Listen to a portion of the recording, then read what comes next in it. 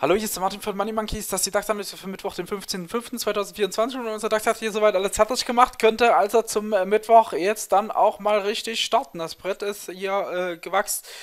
Wellen werden auch langsam größer im Gegensatz zum Bild von gestern und wir haben die Flagge gebrochen. Ja, wir haben uns gestern darüber unterhalten, dass übergeordnet die Bewegung oder untergeordnet mir die Bewegung hier zu sehr nach einer bullischen Flagge riecht.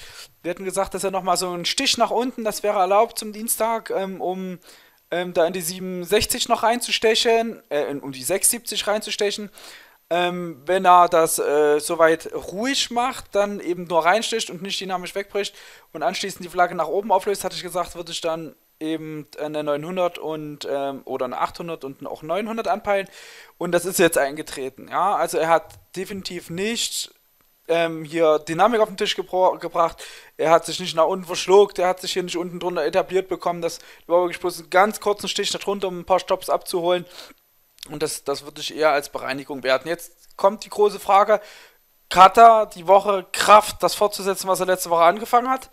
Oder geht in die Range-Woche? Und das wird man in dem Bereich hier um 77 bis 800 wird man das merken. Ja, also entweder knallt er den Mittwoch da oben da rein dreht sich direkt wieder runter, geht bis 700, macht den Pullback auf die Abwärtstrendkante, zuckelt dann wieder hoch und schart sich hier irgendwie zwischen 700 und 800 ein.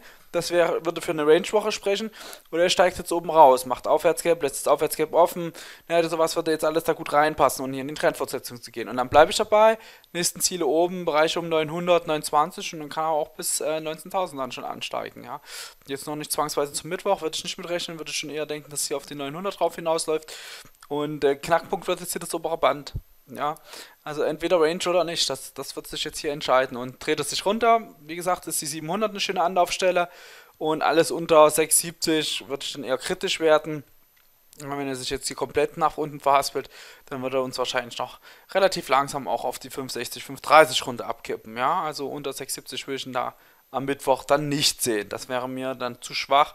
Er würde nicht auf das Erwartungsbild einer gebrochenen bullischen Flagge sprechen. Und die bullische Flagge ist gebrochen. Also die ist wirklich auch, also penetrant offensichtlich, ganz sauber durch. Also das ist ja schon fast wie ein Sehrbuch gemalt, wie er das jetzt hier gemacht hat. Und ähm, er ist im Flaggenbruch, ja. Also tendenziell spricht hier nichts gegen eine Trendfortsetzung. Rein technisch betrachtet spricht überhaupt nichts gegen eine Trendfortsetzung. Überhaupt nichts. Tageschart auch grün aufgetreten, hatten wir gestern auch drüber gesprochen, dass sich so eine Kerze auch eignen würde, um nach unten mal was anzustiften. Hat aber auch gesagt, dass ich das nicht machen würde, weil einfach die untergeordnete Struktur noch zu ähm, sehr nach bullischer Flagge riecht. Ich weiß, das, ihr wollt es immer nicht hören, ihr wollt immer hören, ähm, jetzt fällt der Markt, jetzt bricht der Markt zusammen, aber solange er so eine Strukturen hat, fällt er dann eben auch meistens nicht richtig.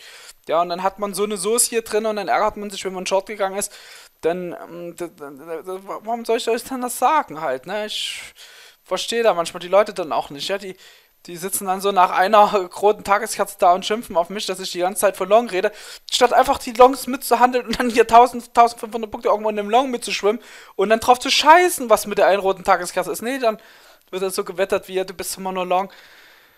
Ja, weiß ich nicht, tut euch doch keinen Gefallen. Man muss auf beiden Seiten offen sein, ja, das nützt nichts. Egal, was man will, egal, ob es einem gefällt oder nicht, Punkte kann man hoch wie runter zu verdienen. Da muss man wirklich äh, zur Schlampe werden halt, ne? das muss einem egal sein.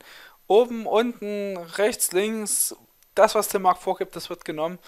Und äh, was wir wollen, haben wollen, natürlich hätte ich den DAX am liebsten bei 4440 Punkten.